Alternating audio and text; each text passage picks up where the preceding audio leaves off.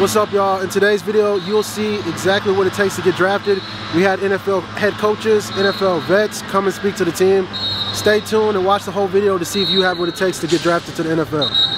Today, on behalf of NFL Draft Day today, right? Yes, sir. A lot of guys get drafted. We praying for our guys over the next two, three days that uh, one of our guys, few of our guys, get taken in the upcoming draft. And we know what they brought to the table. We're praying for them. But we want our coaches to really honestly tell you what the NFL is looking for. We got a plethora of coaches that have come from the NFL ranks, and they know exactly what they're looking for. Some of you may be uh, misdirected in what they think. Receivers, y'all think you catch 100 balls, you're going pro. That ain't true. You get 100 sacks, you're going pro. You throw for five, 6,000 yards, you're going pro. I guarantee you, we Google right now who's the guy that threw for the most yards in college football. I guarantee you, he ain't getting drafted tonight. I guarantee you, we Google who had the most catches in college football. I guarantee you, he's not getting drafted today, and so forth. So you need to understand what it takes to get to the next level. And just so happens we have several coaches that understands that. Then after that, Coach Kelly's gonna do his thing, and we're gonna go out and have the best day of practice that we have ever had. Let's start. So I, I was involved in this process at all different levels for about 25 years. So I've been through 25 loops of this. And this is the week, it's not really the day anymore, this is the week where a whole new group of players uh, joins the league.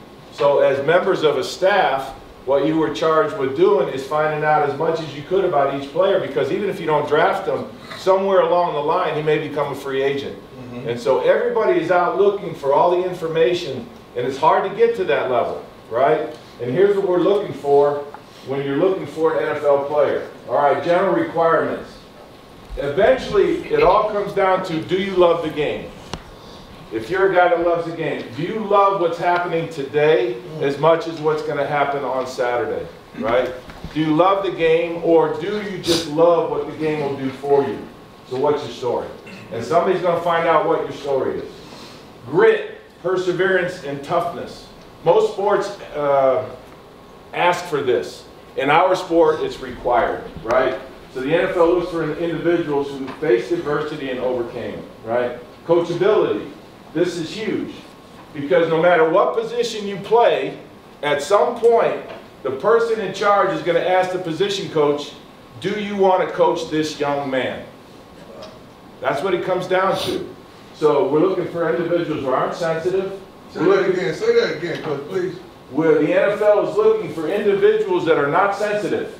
All right? The NFL is looking for individuals who understand coaches are here to fix problems and not attack people. Right?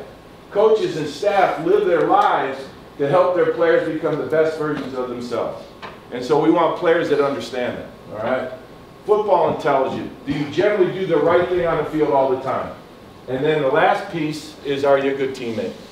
This is a team sport. It's the ultimate team sport. Do you understand your job and you trust that your teammates are going to do theirs? Right? And are you unselfish and team driven?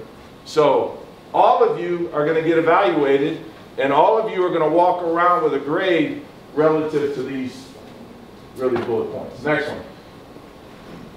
How do teams find information? Uh, well, every team has administrators, uh, every team has an officer Rhodes, and they look at everything about you. They'll go back to your hometowns, they'll go to your college town, they're going to talk to everybody involved. They'll look at your social media, right? If in your social media you're, you're displaying things, uh, selfish behavior, illegal behavior, non-team thought, they're going to highlight it and there's going to be a conversation. Key intangibles, do you get completions? Beyond being having the skill and ability, and I have all this data, so come see me regarding each player, right? Uh, do you get completions, right? When you're do you, uh, your touchdowns to interception ratio, yards per attempt, sack avoidance, scramble and rushing yards, right? But ultimately, if you're a quarterback, have you helped your team win games? All right, next one. The intangibles, if you're a quarterback, right? lead and direct your offense and the team as a whole.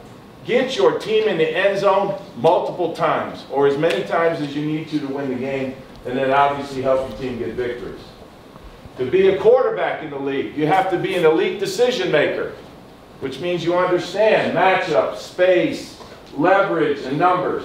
You have to have a sense of timing, right? When to throw and when to go. Pocket awareness, right? So if you want to be a quarterback in the league, you have to have these. Accuracy, ball placement and touch. We talk about it all the time. And then obviously, and this is big, is your off-schedule production. Some of the biggest plays in the league, and we see uh, Patrick Mahomes and these guys do it on the regular, are when you're out of the pocket, right? Taking a downfield look at somebody, deep to middle to short, making a play off schedule. All right, next one. Running backs, right? Coach asked me to do this. Grit, toughness, and durability. Must possess a strong combination of mental quickness, confidence, and work habits. Athleticism and a sense of vision. Can you see the hole and get in there? Contact balance. Can you stay on your feet when somebody's knocking you around? Can you break tackles and hold up in pass protection? Your productivity, and this is the point that coach was making.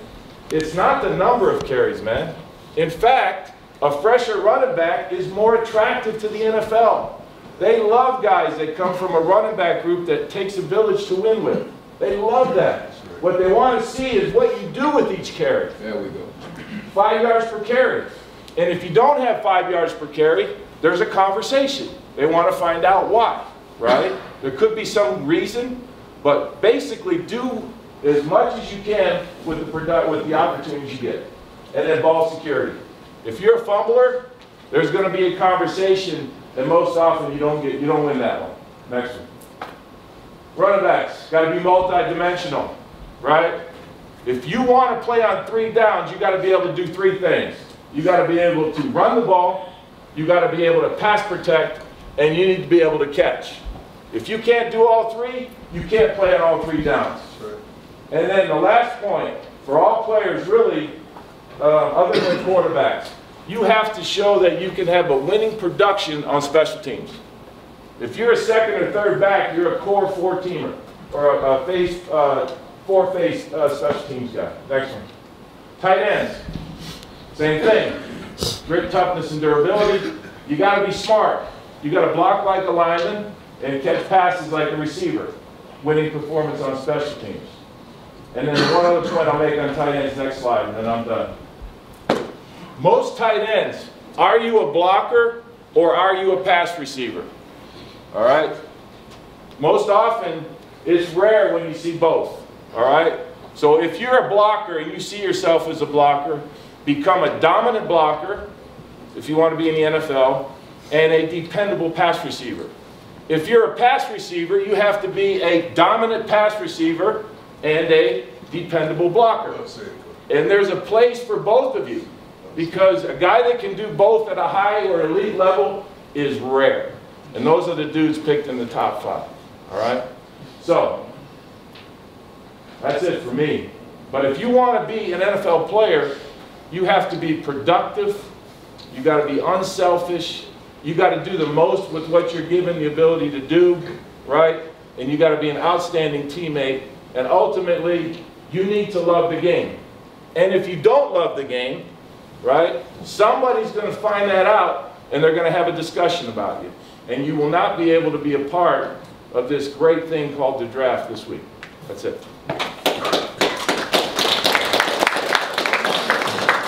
Offensive line was looking for intelligence. All right, you can't play this position if you're not smart. I, us as coaches cannot teach you how to block somebody if you don't know who to block. All right, so if we get out here and we spend all this time working on technique and doing all this, and we don't know who to go to, we're wasting everybody's time. All right, so we have to be able to. They look at that to see do he know where he's going. The inside zone is inside zone, outside zone is outside zone. They can look at it and see we're in three by one and know we're supposed to be pushing that tackle to that guy. All right, they know it. All right, toughness and physicality. All right, your best ability is your availability. You have to fight through day-to-day injuries in order to compete. All right, something is going to hurt every day. You're never going to be 100%. I'm not 100% right now. A lot of guys in this room ain't 100%. But continue to fight through it, right? I thought my middle name was contusion for a little bit. Got a contusion every other week, right? You get a knee to knee, need a helmet, whatever it is, fight through it. All right, nobody can take you out of practice except for Coach Prime, all right, and AP, the trainers. That's it. I'm not the guy to come to. Okay, so they're looking for guys who can compete every day. All right, flexibility and, and uh, versatility and flexibility. All right, have the ability to play multiple positions.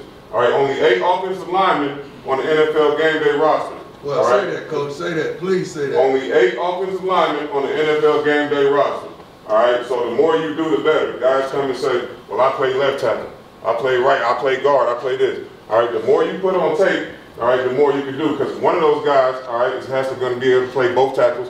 One of those guys is going to have to be able to play both guards, and one of them better be able to snap. All right, so you have to be able to do multiple things, and the more you can put on tape right now, the better it is for you in the future. Next one. All right, these are the intangibles. Coach talked about high football IQ, knowing where you're going, knowing how to get there. All right, passion for the game. All right, passion for the game, not just playing the game just because, because if you're playing it just because, you won't be there very long. All right, you have to have a passion for the game and really love to do what you're doing. All right, durable, talked about it, competitive, wanting to compete. All right, wanting to compete, knowing that when you come in there, there are no starters. All right, we're going to fill the room the way we can. Confident. All right, confident. Being confident to be able to, we call two and three hundred jet, that I'm going to jump a guy because I know the quarterback's going to get the ball out quick, and I'm going to switch up my set on a guy. Put that stuff on tape. All right, and then this right here is obviously a non-negotiable, especially at offensive line, a good finisher. All right, you play through the whistle. Not to the whistle, you play through the whistle. All right, and then leadership traits. All right, coach talked about it right now with Jimmy, right? Offensive line, right? As a unit, when we come in here, we are the leaders just automatically. All right, that's just how it goes up front. So you see somebody with a hat on, check. You see somebody with earrings, check. They're gonna ask all those things to everyone in this room, okay, when they come up here and check on you. We went to college, I don't know how many of these guys had what you guys have right now as far as the experience and knowledge in this room. So you are in the perfect place. I've always told guys, particularly since I've been here, this is the perfect training ground to prepare you for the next level. Yes, sir. Perfect training ground. The perfect training ground. Coach Prime mentioned it earlier about production. That doesn't matter. It's gonna be it's gonna come down to the intangibles. And as you can see, for every position, there are all the same intangibles. What you guys need to understand is once you leave college, it is no longer a game. It's a business. And you have to understand the business, and the intangibles are the business. Okay? You have to understand the business. Now, every year as a receiver group, we always get this book. I get this book and we talk about the top receivers in the league and we talk about strengths and weaknesses. Okay? This is not what we're going to talk about because that doesn't matter when it comes down to the business. What matters when it comes down to the business is the intangibles. Selfishness. Are you a team player? Coach mentioned it. They're going to do their investigation on you, on and off the field. Selfishness. A leader in the locker room. Are you a leader in the locker room? Are you a leader in your position? Are you a leader on the team? Play special teams. Can you make a difference on special teams outside of your position if you're not a starter? All right? Are you smart? Now listen, some of these things, this man stand up here and talk about every single day. That's why I still refer to this as the perfect training ground. You get four years of this experience to prepare you for that, for that opportunity, because it ain't guaranteed. Okay? Character. Are you smart? Are you disciplined? Are you tough? Do you love football and are you married to it? Do you love it and are you married to it? That's a commitment. Okay? Can you say no to the people you love the most? I've heard him say that. The people you love the most, you're going to have to say no to.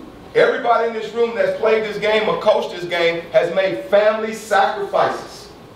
I got to go. I ain't gonna be here for birthdays, weddings, and all that kind of stuff. I ain't got, I can't do this and do that. Can't do them both. You have to say no to the people you love. Are you willing to do that? Good practice habits. Do you practice like it's a game? They value that. Can you, can you learn the system? Are you a rep guy? Do we have to keep repeating ourselves like we do in here? Continually. Okay? Good grades. There's been a study a few years ago when I was at the University of Houston. There was a study made. Guys with college degrees played on average five years, five years longer than guys that didn't. That's an investment. Okay? Play hard away from the ball. It does an every play evaluation. Play hard away from the ball. There's an every play evaluation. Your coaches are telling you defense, run to the ball. Offensively, we're telling you finish. Receivers, I'm saying, continue your block downfield. There's an every play evaluation. And last thing, Well, it won't be the last if I'm talking. Are you a winner? Are you a winner? Huge. Did you win here? Or do you have a history of winning where you've been? It's important. Huge. You need to understand that. This is the perfect training ground, fellas. There's no better place. I've been doing this for a long time, and I can tell you, you are getting everything you need on a daily basis from every coach, starting with this leader right here, every coach, every administrator in this room. It's valuable information. I'll say this. Every time somebody get up here in front of you, you guys have two opportunities. Confirm what you already know. When somebody says something, you know that, because I see a lot of you thinking, taking this for granted because you know it already. It confirms what you already know, or it's an opportunity for you to learn something new. That's it. Now we don't have a 10th round no more. So don't think it's about production, fellas. It's about the intangibles. Good stuff. Defensive ends, you gotta be smart, you gotta be a, uh, applicable knowledge. That means can you apply, can you apply what you've learned in the meeting room and take it to the field? That's what we're looking for, guys that we can coach in the room and then turn around and it shows up what we're coaching on the practice field every day. Use your tools. What does that mean? I gotta use my hands in football. These are our weapons. These are our tools. We gotta be able to lock out. We gotta be able to have contact balance. We gotta be able to get off blocks and separate and make plays. Can you trust what you see? What you've seen in the meeting room, what you took upon yourself of watching film and studying and being a pro. Can you take those things and use it out on the field? Can you use your instincts? Can you see things? Can you see formations that alert you to what's coming because we went over it in the film and have the opportunity to go out and make plays to make a difference in a game? Because defensive ends, let's be honest, you have to be a difference maker for your football team if you want to get to the league and sustain a career in the NFL. Next slide. Tough. Got to be dependable. Got to be dependable. What is that? Dependable is doing right. Not when you want to, but doing right all the time. If you have a stunt, you have to execute the stunt. You have to know if I got a two-way go versus fast or versus run, I got to be in the B gap. We have to make sure that we're dependable in doing our job. One of 11. Got to do your job. Available. Availability. Ain't no ability like availability. You got to play through things. We all got to play through things. You're going to play through pain, ankles, shoulders. It does not matter. When it's time to roll on Sunday, we got to go. We have to trust that when we put you out there on the field, you're going to be ready to go and you can uh, go out and produce for your teammates. Reliability. Am I reliable? Am I reliable? When the game is on the line, am I going to show up? In the first quarter, am I going to show up? In the second quarter, is he going to show up? You have to be a reliable football player. Next slide. Physical. Got to set edges, man. Defensive ends, we got to set edges. We are the edge of the defense. We keep everything inside in the run game. Everything. And then meet pullers with bad intentions. Are you going to check out or you going to check in? When the big guards coming, hey, they got a family to feed too. They coming breathing heavy, smacking level. What you gonna do in return? Are you gonna set the edge? Are you gonna put guys back in the gap? Are you gonna do what's required for our defense to be successful? And then you gotta be a relentless rusher. You gotta show up when it's time to show up. Third down, wins football games. You just heard Coach got over here and talk about quarterbacks getting out of the pocket, making plays on extended plays. It is our job for those plays not to be extended. Keep the quarterback in the pocket. And we got to rush. And uh, I know Coach Sapp's going to get up here and talk, but you got to be able to rush and play with your teammates unselfish football. That's why you have to be able to put hands on people. That's why you got to be able to put hands on blocks, put hands on pullers, because you got to be unselfish in this game. You got to love this thing more than you love anything at some point. That's the way it goes. It takes everything that you have to be a great football player and to play on the next level. And we see it. Smart, tough, disciplined character. You heard Coach Taylor. They're gonna, they gonna ask you about your third grade teacher. They asked Miss Williams about me, my third grade teacher. I'm like, oh Lord. but it's gonna be what it's gonna be. They're gonna dig all the way in and they're gonna ask you, who are you, what are you, and what are you about? And we always talk about what D. Lou was talking about, all that, dependable ability, all that. Me show you some tape. Because what y'all talk about with me, and I said minimum wage, This is why been on because this is what it's gotta look like. You got to play this game like your mama's retirement is on it, your kids' tuition, the place you live, the food on your table. You understand what I'm saying? Love this game and autograph your performance. When you get in this thing, you go at it. You go at it, play after play after play. Because this is what it's about. This is why you here. This is why you came. This is the training ground for this league. And you see Nebraska like this here?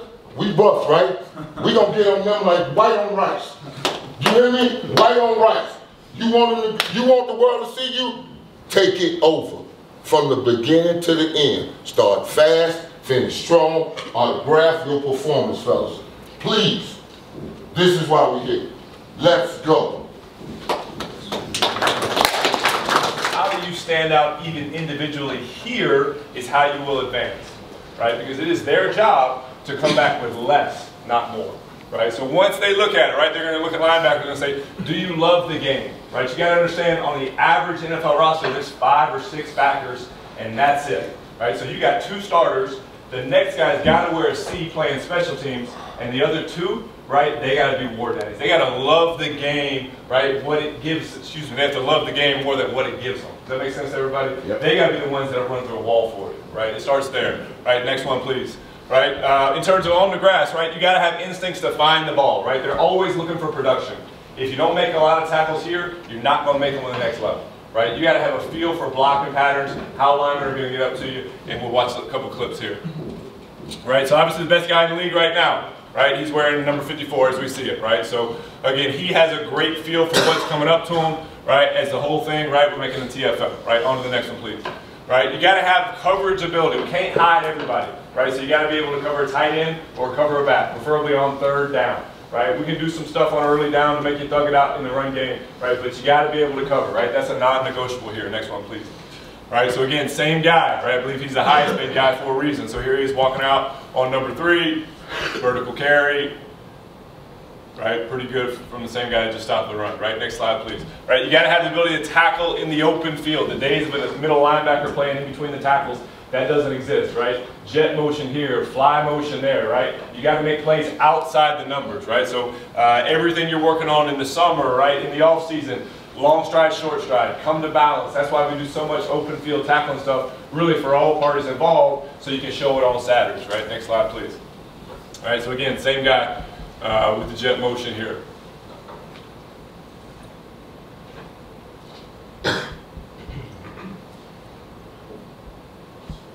Next slide, please. All right, so again, for the safeties, right, next slide. Um, you got to be the vocal mouthpiece of the secondary, right? So you got to get everybody else going. The hard thing for a safety is you might have to look out to a corner who possibly might have a gold jacket on and say, hey, we're going to check this, right? We're going to check that. You got to be the quarterback of the defense, especially on the back end. Everything goes through you. You got to communicate every play, right? So you got to be the go-getter, the alpha that can lead that group both vocally as well as physically, right? Because it is a physical game, especially. Next slide, please. Right? You gotta have instincts, right? You gotta be able to key and diagnose and take the proper angles to the ball, right? You are the fireman. You gotta put out fires in the run game as well as the pass game, right? So I gotta be where I'm supposed to be when I'm supposed to be there. Next slide, please. All right, so again, run game or pass game alike, we gotta be able to go get this thing. So they wanna see you make plays deep in space, as we see there, right? Next slide right? And you got to be interchangeable, right? So you got to have the ability to not only make plays in the deep end, right, but to play in the box. We can't hide everybody. We can't put you in the post uh, and leave you in the post. You got to be able to play in the box and be physical in the run game. Next slide, please. All right, so again, 24 here, we'll see them fitting in the run game as we get this thing going. All right, so you got to be able to do that, right? Make a TFL, same guy next game, right? And then make an interception, right? If you don't have a lot of interceptions in college, hate to break it to you, you're not going to have a lot in the league. That's just the way it goes, right? So again, same guy, two yards behind the line of scrimmage, 65 yards down the field, right? So that's how you get paid. That's how you get drafted high. That's how, again, you do what you want to do, get to where you want to be. Talk about the cornerbacks. Uh, cornerback's probably the most uh, versatile position when you talk about draft uh, draft day. But uh, but, uh, here's what they see first. All right, they gonna see your height. It's 186 corners in the NFL. This is what it is. You got two 5'8 guys, 5'9, you got 13. Uh, five ten, but the average is six six foot, right? So we go six foot is what they're looking at. Five eleven and six one, and then you go down from there. All right. Next slide. Hey, when, when they looking at this stuff right there, being where you where you are on that on that height scale, you have to do something special. If you're not in that six foot, six one, uh, five eleven, you have to be special in something. What do you do good? Can you run? Do you get the ball? Are you a smart corner? Are you a zone corner? Can I play zone? Can I play uh, man also?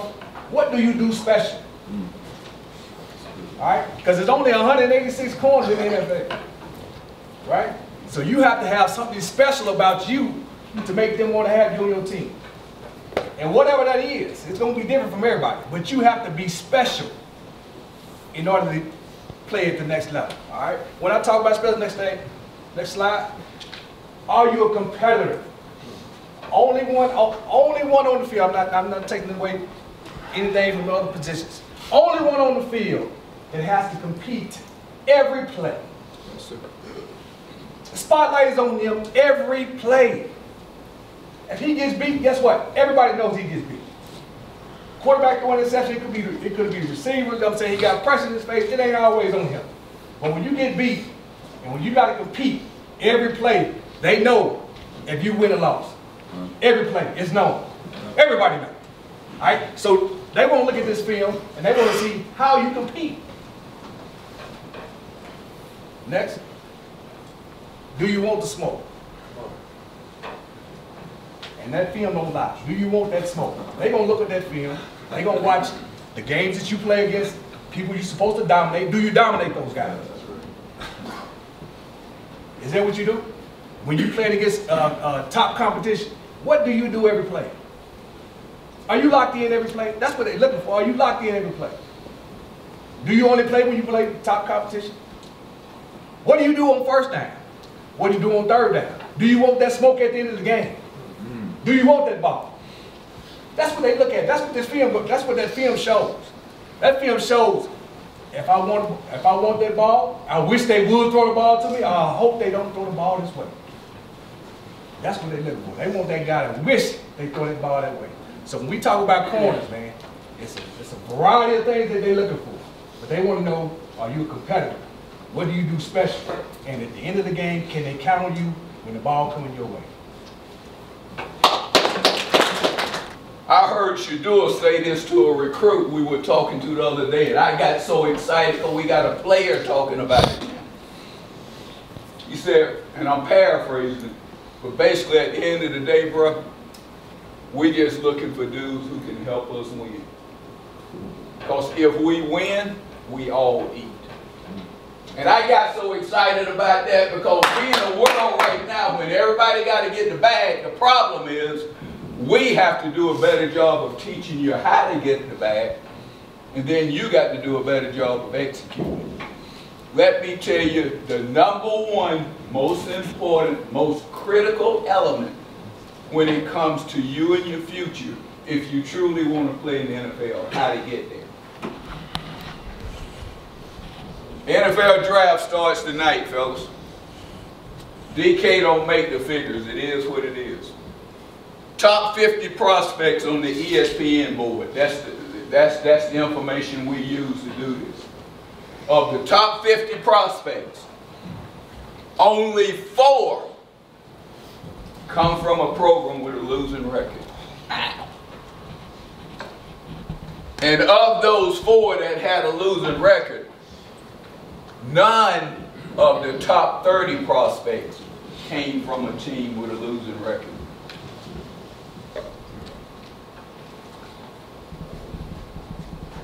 Of the four teams that had a losing record, three of them were five and seven.